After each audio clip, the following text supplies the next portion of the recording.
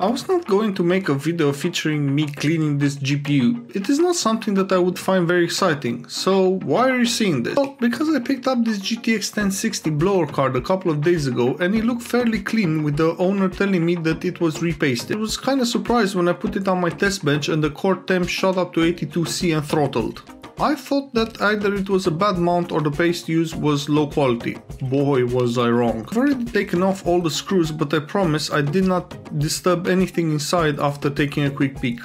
This is bad enough that I'll call this a failure mode of this blower style GPU. The amount of dust that was trapped at the blower outlet completely took me by surprise considering the otherwise relatively dust free condition of the card.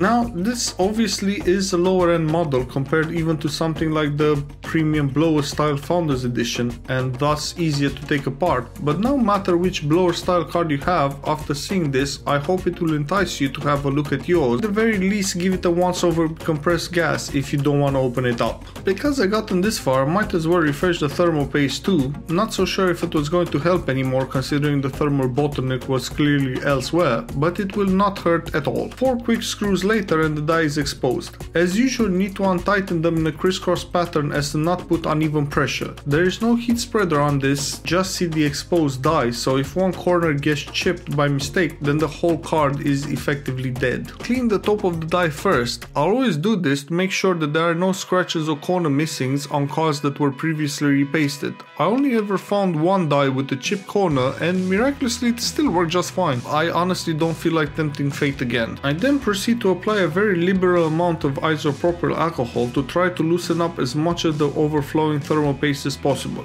You don't really have to do this, the top of the die is the important heat transfer surface, somehow I feel much better if I manage to clean off all of the gunk.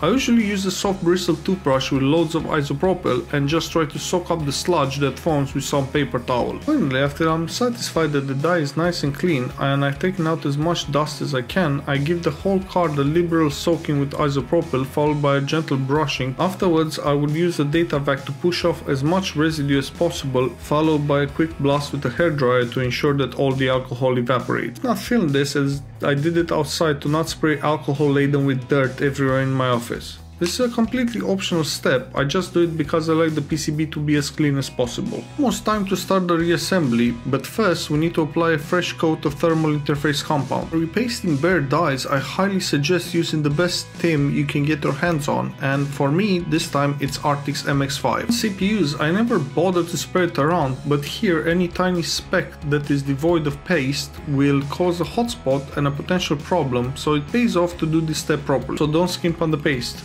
as contrary to my advice on a CPU, going a bit overboard is way preferable than not putting enough. From here on out it's just a matter of screwing everything back together in the reverse disassembly order, starting with the heatsink. I appreciate the captive screws here as it makes reassembly that much easier. I've done a few of these Zotac cards over the years and this is the first revision I had with captive screws. That being said though, one of my main bugbears with this design is the fact that the RAM chips get absolutely no cooling. The blower outlet ramp is actually right on top of some of them and there isn't anything I can do to glue heatsinks on because there is no space Sure, it's easy enough to mod if, if you have a few hours at your disposal and a beefy cooler off a dead card, but considering it's 2022 and this isn't anywhere near a top of the range card, I think I will abstain from doing that. In practice, for gaming, this really isn't an issue as the memory chips will not get hot enough, but it also means that the 220 Mbps extra on the memory clock is about as much as I would safely recommend. Definitely eye a cheap blower style 1060 with a critical eye in case they were ever used extensively for mining. Usually usually would have no qualms buying a used but not abused old mining card apart from these rather prolific Zotac sort of reference cooler designs that were used extensively in pre-built PCs by various OEMs. In comparison, the 1060 Founders Edition cards have a much beefier blower style cooler and the memory chips are also cooled using little heatsinks and that irks me a bit. Anyway, irrespective of my feelings, that's it for this video. I hope you enjoyed it and well, see you in the next one.